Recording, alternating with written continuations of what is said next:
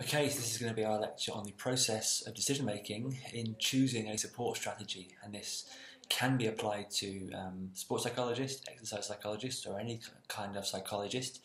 Um, we can think about it as a coach, and I think many helping professions will use something like this as they decide how best to help a client. Uh, some of the background information around the underlying uh, ethics and philosophy we'll have to um, leave out of this, but I'll try and signpost where those things might um, feed into this type of decision. And for the main part there, this lecture is based on the book we've been using, mainly chapter 7, that's the uh, accessible part of our lecture. Um, but the surrounding chapters are obviously quite useful as well. So we're going to look at how, once you've got your information and you think you know what's going on with your client, how you can then transition to making a decision about how best to proceed or choosing a support strategy. In different uh, spheres, you might hear it talked about as choosing an intervention or choosing uh, a treatment, even. But I'm going to try and stick to the language of choosing a support strategy because that includes the less prescriptive approaches, like counselling, for example, where you might simply help a client work out what to do um, without too much input from yourself apart from asking difficult um, and appropriate questions. So I'm going to try and say what is this thing called decision making and in particular choosing the support strategy. And then we're going to look at how um, that decision is informed by lots of other key pieces of information. To an extent, lots of other decisions you've made along the way um, to lead to this big important decision. They can be in your case formulation, which will have been informed by the needs analysis process. Uh, that can be coming from evidence based practice, whereby we, as um, scientific helping professionals, are supposed to be using the latest, most up to date, and robust science to inform our practice. Uh, to what extent is that possible? And then, uh, if it's not possible, what are we left with instead? We're going to look at what is this thing called professional judgment? Um, it's often used to describe a category of um, stuff which is hidden and just left to be magical or gut feel. And I think um, it may be in a court of law level of um, analysis or even certainly scientific analysis. Obviously, gut feel and um, leaving things unexplained and unexamined isn't always good enough. So, where there is time and opportunity, we probably could um, have a language for unpacking what is meant by professional judgment, not just snap gut decisions, but there's probably something going on that we can give a language to analyze, understand, and eventually do better. Um, wrapped up with professional judgments, there are the kind of practical constraints of despite all the best information, despite knowing what the science says and what the clients told me, sometimes there are practical constraints on what you can do and they're just as important as having a really good idea. So if the person has a really busy schedule or a particular key moment in the season or you know competitive cycle, you might not choose to do certain interventions or support strategies for that reason. So you're constrained by the context as well. And that's not to be overlooked, that's a really important aspect of it. Um, so we can talk about that openly, honestly, and use that to explain why we've done stuff the recurring theme is going to be that we are always looking to explain, show our workings, be accountable, uh, be defensible, so that if we've made a decision, it makes sense and we can stand by it, at least insofar as with the information that we had at that time, that we think was the best decision we could have made. If it turns out that there was other information we didn't have, some of that could be our fault because we didn't look. Sometimes circumstances simply change. Sometimes there were things you might not be expected to have known. But uh, we're not looking for right and wrong decisions, we're looking for the best possible or the least bad possible decisions in a key aspect of the um, support process. So it needs to be something we can uh, convey, put into words, uh, analyse, and understand. This then transitions us into planning the support, which is probably a different lecture, but I wanted to spend a few minutes um, looking at what's involved in that and because that also feeds back into the decision process. If if you're trying to plan something and it simply um, is very difficult and it doesn't really work, that may mean that you've not got enough information, you haven't done a good enough analysis, or you haven't understood the issue well enough. And then ultimately, we're trying to do something, so we need to say how I deliver this thing to my client. And how will I know if I've done well or badly? So, a nice broad overview, and that should hopefully get us in the door. And then there are, of course, some follow up readings that we can direct you to. But this is just to give you a initial entry into this topic. It's not something which is written about very often. So hopefully, at the end of this, you've got a uh, understanding, a framework, and some sensitivity to go and engage with uh, a fairly mixed literature and actually it, allow it to make sense rather than simply having to deal with some long words or some different viewpoints. Hopefully, this will give you a good starting point, a good firm basis on which to build. When we think about the decision of you know, choosing what to do, the intervention or a support strategy, it's something which happens right at the heart of your consulting process. This is the model that I proposed in 2015 for a consulting process. As you can remember or see here, the very foundations of a sports psychologist's process are built on ethics and philosophy. So you need to get the ethics right before you can deliver good practice. You need to actually understand your own philosophy because that frames your own practice. It frames what you classify as good or bad and success and failure. So it's very important to have those things in place. And then, broadly speaking, there'll be an entry moment called the intake where you establish a relationship, and it's probably your last chance to say, This is not going to work out, this isn't a good relationship. Once you're into that relationship, exiting it would be difficult. It involves some kind of untangling and some termination element. And that's not easy. So, the intake is the last chance to say, This isn't for me. Then you can uh, work out your client's needs, what their goals and expectations are, and maybe perhaps any gaps in between what they're currently capable of and their desires and goals. Um, it could be that their pressures and context have changed, and again, that's created a kind of uh, tension or gap in, in what they're uh, currently capable of when you've done a thorough analysis, you normally end up with what I call a case formulation, where you can have a, a working model in your mind of what's going on, including the, the sort of inputs uh, and the uh, sort of circumstances, so the inputs to the system, the cogs and the connections in that system, so you can see how things interact, and then the outputs that are being generated. So that if you want to change the outputs, you could change the inputs or you could change the system.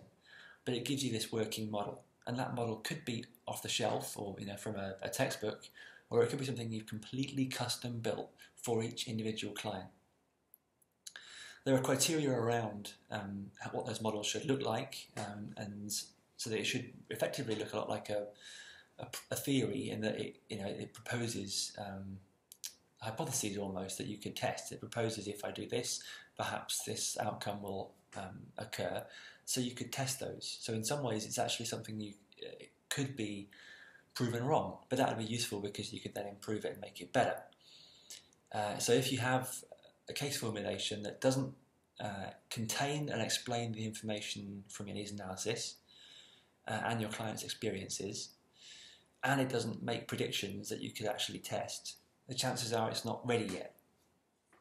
When you've got that, one of the things it should be saying is, well, then here's how you can achieve the outcomes that you want. So it could be fixing a problem, it could be achieving some new impressive capability, it could be resolving some tension. But it starts to point you towards some potential interventions and support strategies. That is a key decision uh, informed by at least three sources of information the case formulation itself, evidence based practice, professional judgments, and it's all happening in the, in the very heart, which I think is therefore harder to get to, harder to access and understand. It's in the middle of this dense process. Hopefully, if you get that decision right and clean, then you can plan intervention and deliver that intervention. And that doesn't um, belie the fact that all of these processes are richly interacting. It's not actually, as sketched here, uh, a linear in and out process. Um, information from the right hand side of the page could be uh, influencing and feeding back into information on the left hand side of the page.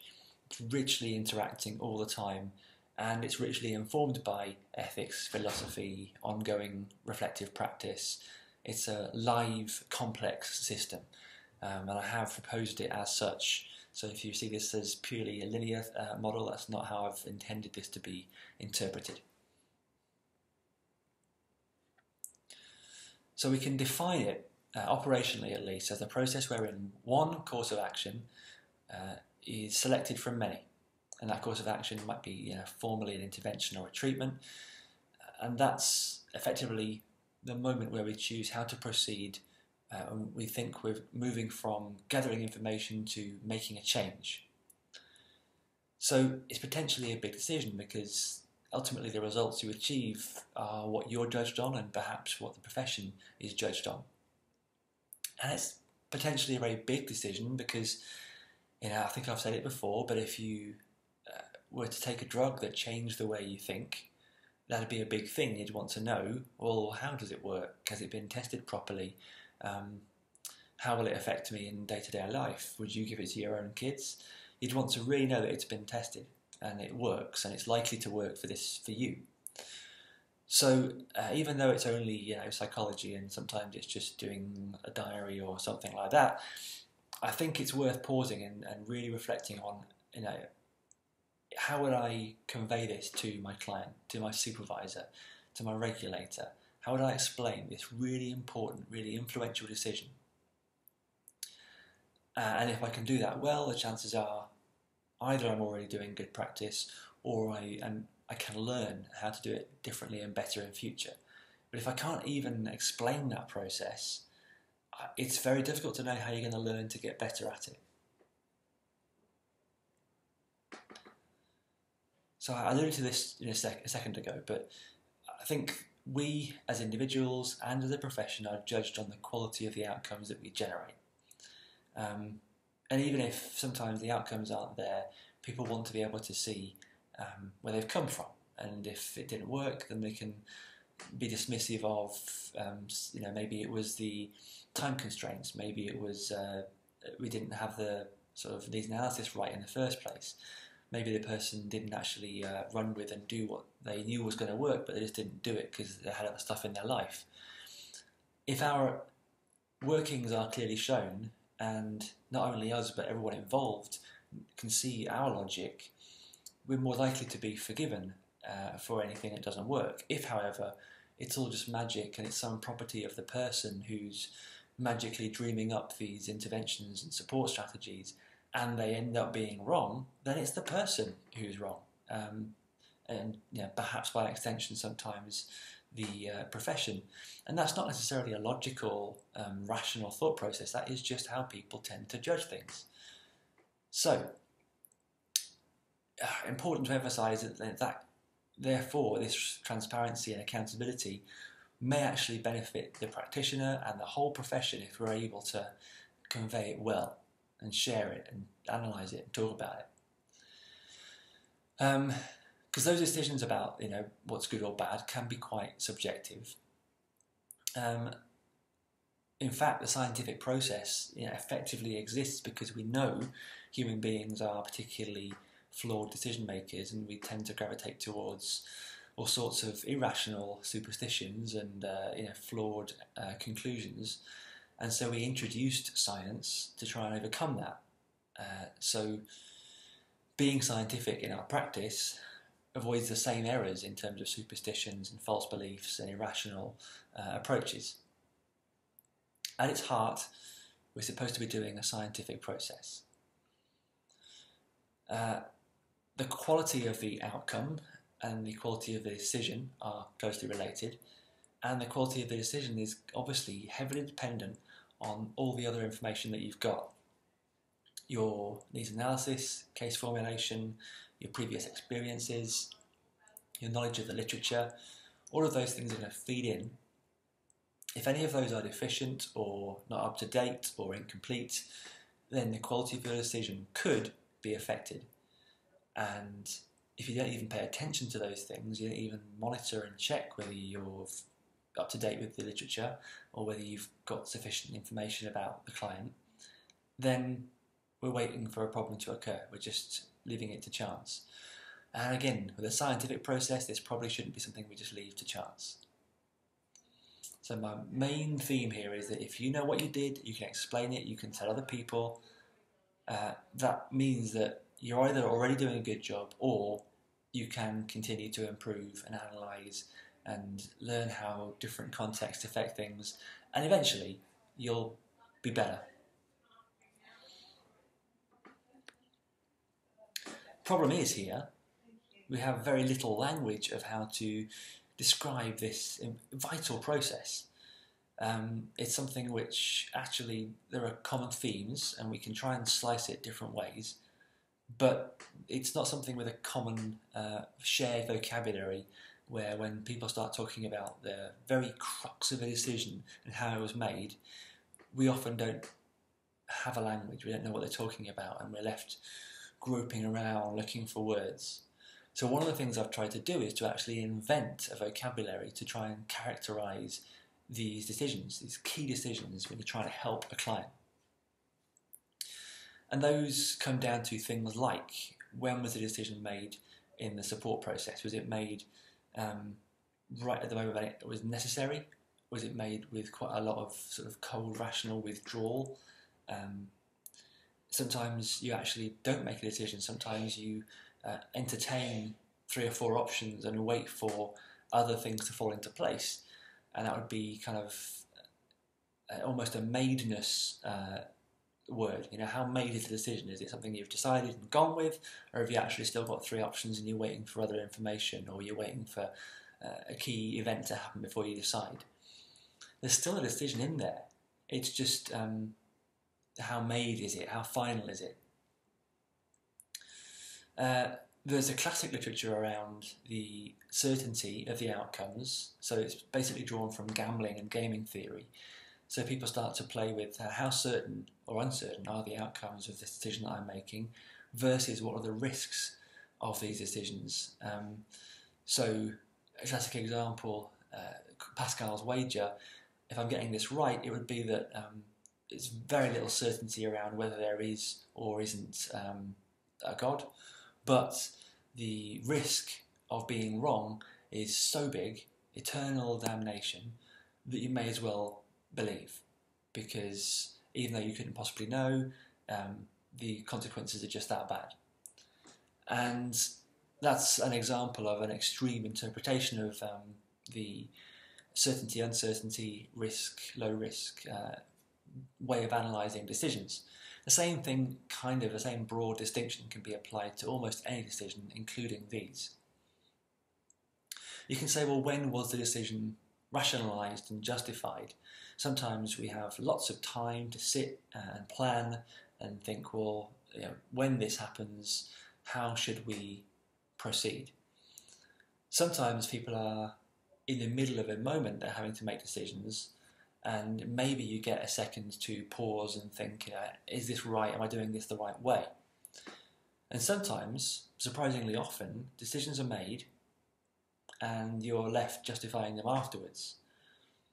And I think uh, as a psychologist, that probably isn't ideal because we should be able to sit away from the heat of the moment and analyse and make decisions in advance, or at least close to when they're important. If, as a psychologist, you're making important decisions on somebody else's behalf with no real understanding of why you've done it, and then going back and saying, well, I guess I can fit that with one of the many theories in my textbook, that's probably very questionable. Now, real people in real life very often end up having uh, made a decision, passively or actively. Uh, you know, it might just be something which accidentally happened around them and it ends up being a decision for life and they're often understood in, in reverse, so um, post hoc, effectively. But as a psychologist, that probably isn't the way to go. And you do see many case studies of practitioners in training where the work was done, and then you can sort of clearly see that some theory has been picked that probably wasn't that applicable, but at least it helps to capture uh, what was done, or sometimes you get a mixture of theories which are used to explain what was done, and they're not really compatible anyway. And it just looks for all the world like justification is happening long after the key events took place, which probably isn't what we want to see happening. Just a you know, simple ordering of events. One of the important transitions you can get with clients, especially, is to uh, work from post hoc analysis about decisions to uh, make it more and more present so that people are able to take control of things in the moment and also to actually begin to plan ahead and say, I, I, anticipate I will need these skills. I anticipate I will be in a situation which will challenge me again. How can I prepare for that? So you actually begin to bring the um, understanding and the intentionality forwards through time so that rather than sitting as a passenger and waiting to feel good or bad, the person actually gets to um, react in the moment with more presence and of course plan ahead and say this is how I want to be as a person and next time something like this happens this is how I want to react to it. That's been a theme of my own sort of practice recently. Um, you could analyse in terms of how involved the client was. So you could say, look, I'm in charge, do as I say, or you could end up saying, you've got this, I'll just sit back and watch and make sure that you don't um, screw it up too much. Uh, and they're very different types of decisions, and I guess the responsibility is still on the psychologist as the helping professional. Um, so there's still some element of control, perhaps, but it may be that if you're allowing someone much more say in how they proceed, that that's more empowering, more autonomy, and it may stick and work much uh, better. And we could even say, look, was the decision made purely on gut instinct, which you might call rules of thumb or heuristics, or was it actually made in a calm, rational way? And any of these are ways of talking about how we make decisions. They're all applicable, and it could be that any decision we look back on, especially, we could characterize in this way. So, what that means is almost any decision you make, but certainly this key decision around how to proceed and perhaps intervene or offer a support strategy, almost any of those could be characterized onto a framework like this. So you could say, okay, how much certainty do I have that it's a good or bad decision? How much certainty do I have that it will work and deliver the outcomes that we've been seeking? Uh, how much risk is there? Um, what the likelihood of, of bad things happening? Uh, do I even know? How bad is the risk? So you could say, okay, um, as we mentioned earlier, there could be something I'm not really certain about at all, but the risks are huge. And in that case, it might be that you choose a very conservative, safe strategy. Whereby, whereas if you've got something which you're pretty sure would work and there's almost no chance of it going wrong, which is often how we like to feel about life, then you could kind of proceed without too much caution. And of course, most of the things that we do will be somewhere in the middle where we don't really know how certain we can be. Um, it's not the end of the world. If it doesn't go to plan, we'll always be able to do something else. But actually, in elite sport, sometimes the levels of risk are pretty big. There are big sums of money, uh, you know, one shot in a career kind of stuff. So that changes uh, the way you make decisions. I mentioned a minute ago the idea of madeness, how made is the decision, um, and I talk about a sort of decision threshold whereby um, you know there's a moment where sometimes a decision is made, and once you cross that threshold, there's no going back. It's done. Uh, the only change we could do now is to start a whole new list of decisions because we've already taken this key step. Um, versus this kind of there's a long way between me and the decision you know, we've got lots of options and we can keep our options open in, until we need to. And there's kind of um, some military theory around trying to sort of protect the decision makers from the urgency so that they can be cold and rational and have that distance uh, so, and look at all the options. Uh, so it's definitely something which has been recognised, if not well researched, that the uh, level of madeness around the decision is it um, something which I did and it was done. It's something where I made a decision uh, to write down the four options and wait and see. And I think sometimes um, entertaining multiple options at once, whilst it leaves you uncertain and incomplete uh, sort of emotional feeling, it actually uh, allows more information to be gathered. It allows people to sometimes just uh, mull over how they would feel if a certain thing if a certain decision was made, how would you feel? Let's just pause and wait. And let's not jump into this. Sometimes there's a real good argument for um, postponing and knocking back the decision down the track a bit. The justification process is it something which you could do um, in advance, a priori, and along is sort of okay. we thought this through, we came up with our justification, we made sure that it made sense, and we were pretty confident when we got there. Versus decisions which were made in the moment and you barely had a chance to think it through, but you might have just had a few seconds to reflect and analyse. Versus the justification process taking place long after the key decision was actually made, and so you're just rationalising afterwards. The authority angle is it a prescriptive decision where you say, I'm in charge, I'm the expert here, you must do as I say? Is there a kind of halfway point where you negotiate and perhaps you say, here are some options, which one do you like? And it's a back and forth, but ultimately, I suppose you're agreeing a course of action that the person has to do. Or is it this kind of you work it out for yourself, you've got this, but my neck's on the line still, so I will actually just keep an eye on what you decide to do as the client. And I've used the word regulatory to describe that because you're kind of just keeping checks on what they do and decide. And then the kind of uh, level of analysis that went into the decision. We as humans frequently make decisions that are gut instinct, heuristics. We judge people. We, uh, you know, and it's really important uh, in sport and in just navigating the world that we shortcut some decisions. If we analysed every movement and every basic social interaction um, from scratch, we would really struggle to get anything else done each day. So it's really important to have these short heuristic um, shortcuts, but they are prone to going wrong, and sometimes we haven't yet got the experience to have that shortcut. And of course, they're very unconscious, so we don't always know why we did something, uh, which as a psychologist probably isn't so affordable.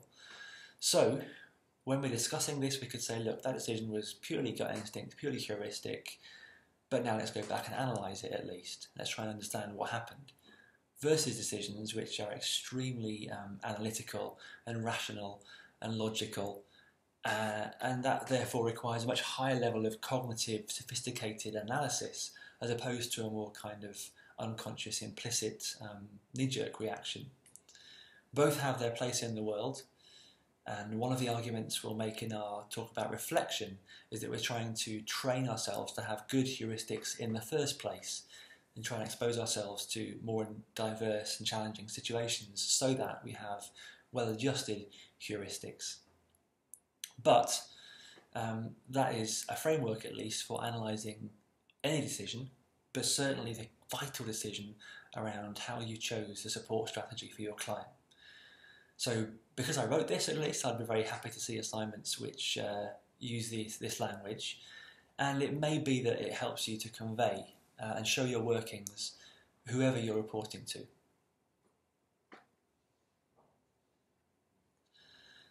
Now we move into the idea of the sources of information or the sources of influence in a decision. In a practice decision for a psychologist, a coach, um, sometimes other professions, uh, we have these potential influences. And depending on your philosophy, again, you may draw on those influences differently. So, for example, somebody from a, a classical counselling background would probably pay a lot more attention to the case formulation coming uniquely from their client, whereas somebody from a more kind of um, hard science, um, possibly CBT background, might look more at the evidence base more at the kind of textbook theories um, and less at sort of a unique story of their client. And so that there'd be at least equal weighting between case formulation and evidence. Sometimes maybe even more weighting on the evidence base because um, that you know is a different emphasis in hard science uh, versus counselling, which has sort of been construed as soft science.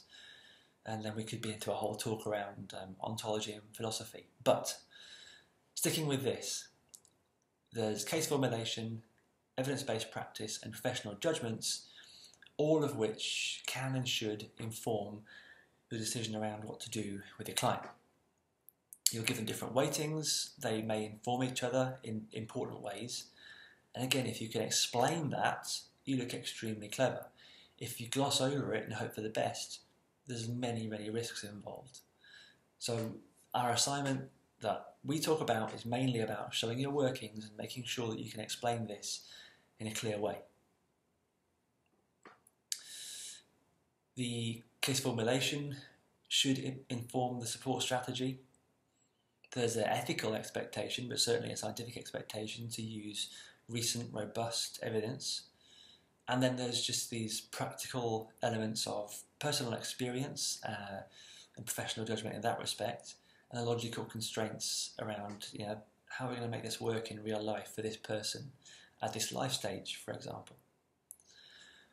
All three of those, if you can explain them, capture them, convey them somehow, that's useful. That helps the reader or the assessor to understand what happened. And it could be that the client themselves wants to know, and you should ideally be able to explain it in quite simple terms that you know, anybody can relate to. Uh, the danger for sure is leaving things undeclared, implicit, unconscious, because basically, if something goes wrong, we've got no idea why. We can't go back and change it or analyze it or understand it. We're just left going, well, what a bad situation that is, which is really unacceptable for a scientific helping profession with a lot of responsibility sometimes. So even if something were to be incorrect or proven ineffective in the long run, if we have this information on this page and in this talk, then we can analyze it, understand it, and improve it. So, case formulation, uh, I'm recycling this from a previous talk because it's basically the same message. At the end of your needs analysis, the signal that you might have enough information to stop only looking for uh, information is that you can formulate a working model to include the causes and inputs, the surrounding context, the internal workings of this machine, the, that therefore explains what's going on, and you can see how that generates these outputs. As I say, those that mechanism, that formulation could be from a textbook, could be something you and your client have worked out uniquely in that room, but it's I think it has to exist. Even if you assume well everyone's the same and this works for everyone, that is a case formulation. It's just a particularly risky one, and an incomplete one. Um, so again, and it's difficult there with that one if it breaks. It's difficult to go back and analyse why, and that's often a good rule of thumb. You know, if this doesn't work out, can I at least work backwards um, to fix it? And if we have the assumption, well, this works for everyone, and that's ineffective, our whole world is wrong. You know, this works for everyone. No, it doesn't. That's a big issue. The case formulation should, if it's doing its job, point out a small number of potential ways forwards. And I have had sort of first and second year students correctly point out that um, in sports psychology, some of our best theories um, enable almost any outcome. So you give a, a, fake client, but you know, quite detailed, and you apply a particular theory, and it means it leaves you with almost any of the possible popular um, approaches. You know, you could do imagery, goal setting, self-talk, and you could change the theory and still end up with the same um, potential courses of action. And that's probably a problem. So it might be that our theories are faulty, um, and if we're just using them to case formulate, we haven't quite got the level of um, precision that we need. So there's a strong chance that um, case formulations more informed by the client's particular story uh, may be more um, sensitive, precise. And the great thing is, uh, the case formulation is fallible. It can be replaced easily. You can change the diagram a little bit. It doesn't mean that it's final. You can constantly update it, especially if it's improving. And, and no one's ego or health or anything is at stake. Uh, if a diagram changes, uh, it's no sort of personal judgment on, on the practitioner or the client. Whereas, if we're really defensive about our working model and that has to stay the same, then really it's either the practitioner's reputation or the client's health which could be being affected, or their performance for that matter. So, if we have to modify anything in there, the chances are the best thing to look at is the case formulation and change that.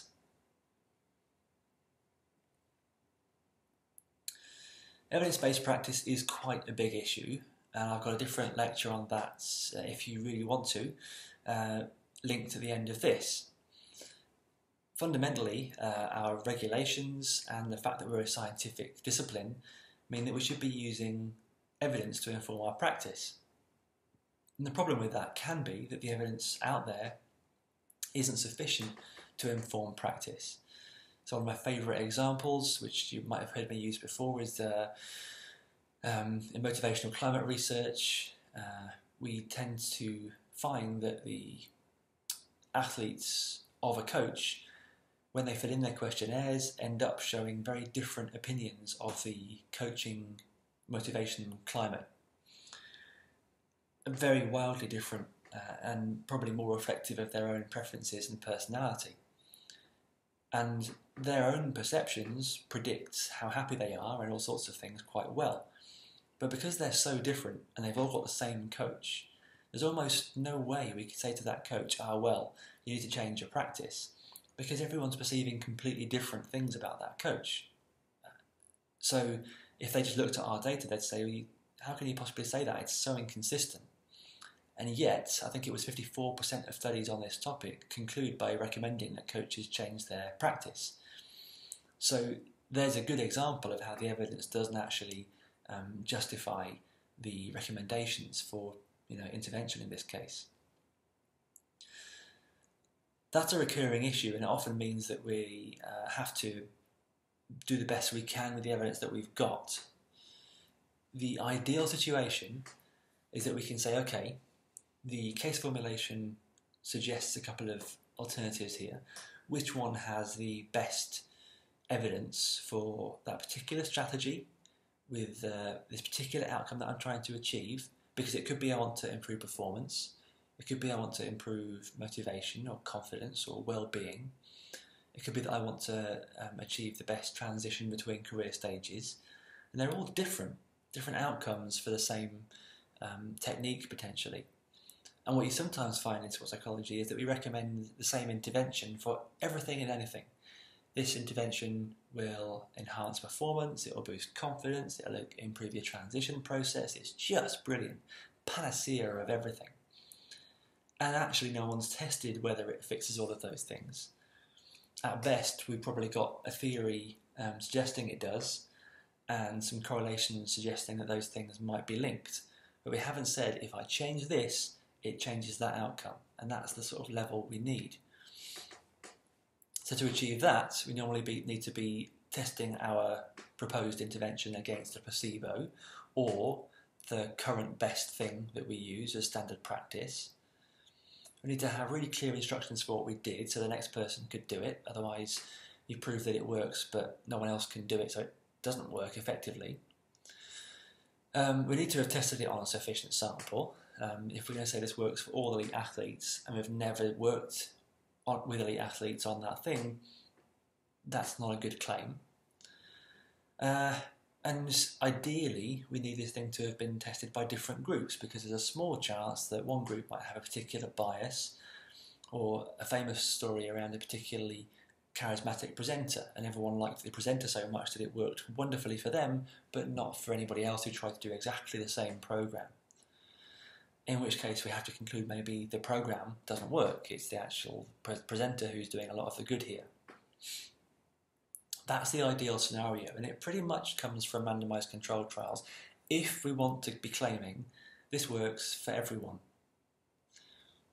If we don't want to make that claim, and we want to be much more nuanced and subtle, then we don't necessarily need these um, this level of evidence, and we can be more tentative but that's actually a different um, philosophy, a different approach to how you perform science. And, if, and you can't really transition from saying this definitely works for everyone to, oh, well, everyone's different.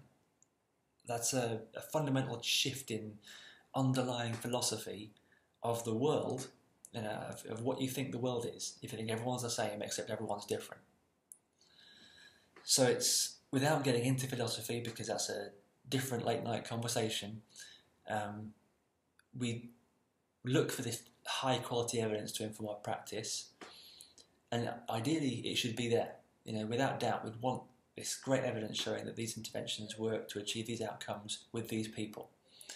When it's not there, what do we have to do instead? Well, we have to be much more tentative in recommending things, and we have to build in checks and measures to make sure that um, we are making progress in the right direction. If we haven't got those in place, we're effectively flying blind, and again, we've, we've stepped away from a scientific process.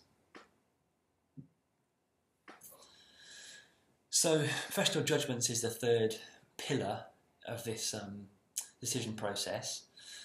And yes, they are to a large extent subjective, but they're not um, meant to be purely uh, hidden, sort of you know, magical, mystical background information that you don't get to share.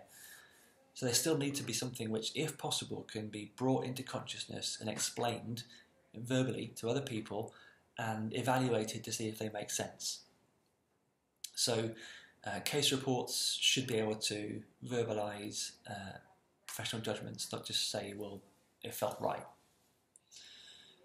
And that's there's an important element here, which is that the practitioner is a vital um, component of the the entire support strategy, and they will be accumulating implicit, tacit knowledge of what works and what doesn't work, and with who and in what circumstances, and actually converting that knowledge, that very carefully hard-earned knowledge, into something which can be shared evaluated and understood would be a brilliant scientific outcome. It would help us understand how practice can be optimized. So we should never be leaving it as just background, implicit, unexplained stuff. Also, the practitioner in the you know in this stage in history is the only thing capable of synthesizing all that information from case formulation, client data, um, the literature, the immediate context. The only thing in the world that can do that is the practitioner. We're trying to make sure that in due course the client can do that, I guess. But the practitioner is the one who's had all the experience of doing this time and time again. So again, there's really important, vital information which would be really valuable to other people if we could capture it, analyze it, understand it, theorize about it, test it. So, to some extent, because professional judgments are more likely to be heuristic and implicit, it's also more likely something which we talk about and rationalized um, post hoc. And if we can bring that forwards to being something we're aware of in the moment, ad hoc, that may mean that we make better decisions. So certainly worth being able to navigate and not just simply leave it as a background, um, unexplained event. So I, I, use this template with people, and you're welcome to take a copy and include it in uh, any case reports that you do, where I try and slice a cake in terms of how much of my decision about the support strategy was informed by case formulation, how much from evidence based practice, and how much from professional judgment. And of course, logically, you might start from case formulation, have a few ideas, look at the evidence for each of those ideas, and then contextualize them using professional judgment. But then I think in the end, and it depends how many arrows you want to draw, it all kind of feeds into itself, and there's this constant interplay of information. Um, and it might be that the um, even the tr- attempts to plan change your understanding of the very data that you've got from your client, or your attempts to plan change your understanding of the client's goals, the fundamental goals of what they're trying to achieve. So you can draw a lot of arrows here in the end, but the sort of logical, um, you know, if it were easy to do, it would be I've got a nice idea what's going on, what does the evidence say, and what can I do in real life in that kind of order. I suspect there'll be uh, many situations where that isn't the case. When you finally picked a support strategy, there's still the actor turning it into um, real events in the world. So you would need to plan out what's going to happen. You'd need to actually uh, have some outcomes in mind and deliver those outcomes. And some of that will be you know you delivering. I guess uh, you'll need to recognise what part of the um, process is the client doing the work and delivering the outcomes. But certainly, what does it mean, you know, to deliver something as a psychologist? There's a big element of monitoring where you need to know whether you're on track, uh, not making progress. And when you've got lots of lead time and you've got an assignment, for example, that um, gives you lots of time to sit and analyse, then you can decide what you're going to choose as your um, key indicator of success, and you can simply measure that one thing. Of course, in real life, uh, you don't always get to have that uh, clarity, and it's a different type of decision about what to monitor. Uh, D, for example, um, if you're being tentative and suggesting, well, try this, but if it's not working, we'll have to switch tactic. Do you have a clean point in time where you say, look, at that point, if it's not working by then, we'll change, you know, sort of giving up point? Um, which kind of, there's an element of that might make sense, that might sound very rational and, and clean. Of course, not all uh, applied practice is rational and clean, but, you know, have you got your giving up point or a plan B? Uh, there's chances are those are, if you're looking to write a kind of case study that makes you look and sound clever, you might actually have things like that signposted within it. As I've said, all of these things will be furiously interacting. So case formulation um, could be revised in light of uh, the first attempt to make a change which didn't work, so you go back and look and change things. But it's a live process, but at least we're trying to give it a language and a way of understanding it and a way of reporting it. So, when I was uh, marking various uh, case studies by practitioners when I was younger, uh, I used to see these interventions which would say, I told the client to do imagery, I told the client to do goal setting. And sometimes people would talk about progression uh, from we started off doing goal setting and then we progressed to imagery. And that was kind of all the information that you had to work with, and it wasn't really cl- clear why that represented progress and improvement for the client. It, it, sounded almost like a curriculum, just working through the classic mental skills that you see in sports psychology. So it might be, and I think it probably is better to, to plot a route from where the client wants to be where you are now and to link how those how you're going to navigate in that direction. And it might be that you have to revise and change as you go, but at least you've got an end point and a beginning point, and you can monitor on that journey. It could be that you have outcomes, performance, and process goals, um, taking directly from, from goal setting theory. But if you have the endpoint in mind and you know the strategies you're going to use to get there, the chances are that sounds very logical and sensible. Another way of transitioning is to think about the education, acquisition, and practice model that uh, I've used in this and other uh, lectures as well. But if you begin educating a client, not necessarily in a classroom, but you know, giving them tasks that might demonstrate when this problem occurs, um, how to sense that it's happening, how it affects their performance, how it affects their happiness or their life, that opens the way then to start making changes. There might be an acquisition phase whereby you actually do tasks that purely are focused on accumulating and building this skill and practicing it in the sense of practicing to learn. And then there's this practice in terms of putting it into practice. So the P in our model is putting it into practice. Uh, because sometimes people can accumulate a new skill and in the key moment they still can't use it. And there was a study, uh, I think it was Dan Gould's, uh, using the Test of Performance Strategies questionnaire, which suggested that the elite athletes not only have these skills but use them in the key moments. And the, the other athletes may often have those skills but didn't use them at the right times. And that was uh, particularly telling.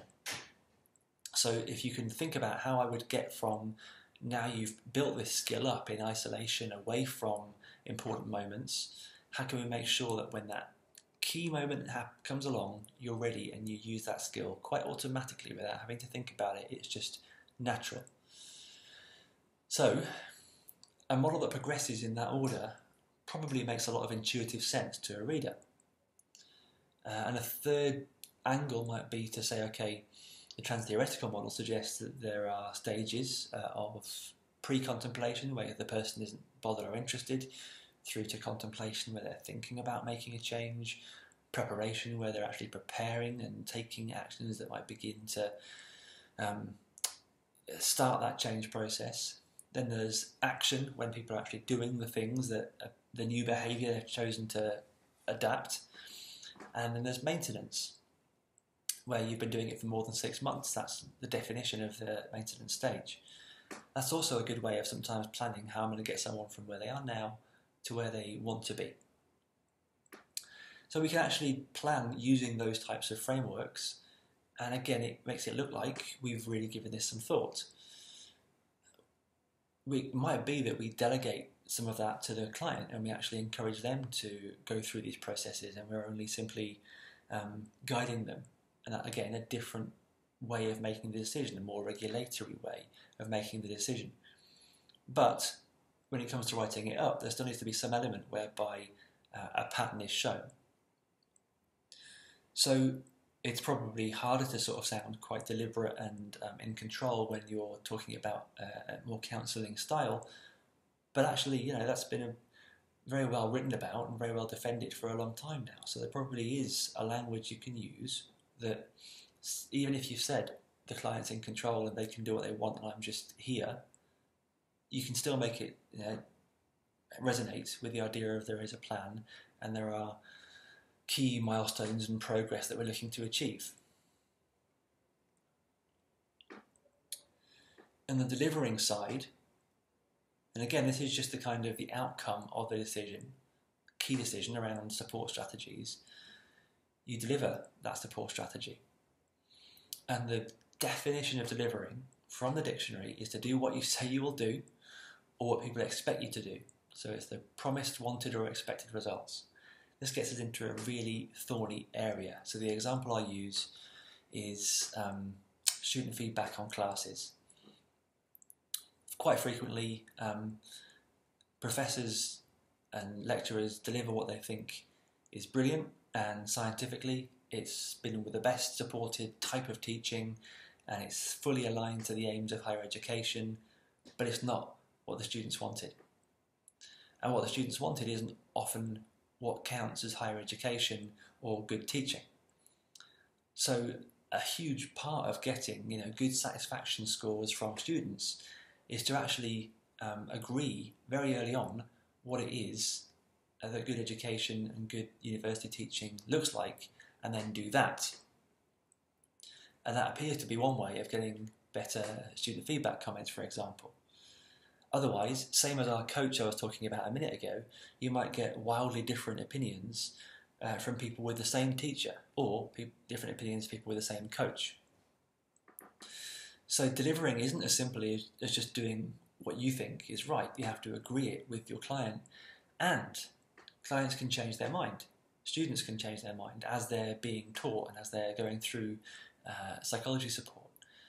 Sometimes they might change their mind and actually shift into what you think is good practice.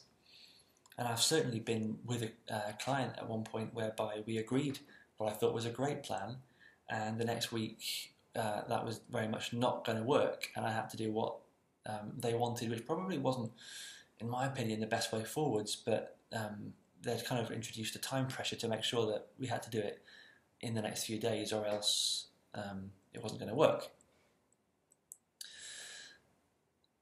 it's the agreement, it's the consensus. So you start asking, right, what do I want to deliver? What does the client want me to deliver? And do those things overlap? If I deliver something world class, but the client didn't want that, you could say I've still failed. So we absolutely have to get this right. And there comes an element of how can I ensure all the time that me and the client are on the same page. And even if they shift the goalposts, I still shift with them if it's appropriate. Or can I drag them back into what we think is the right thing to do?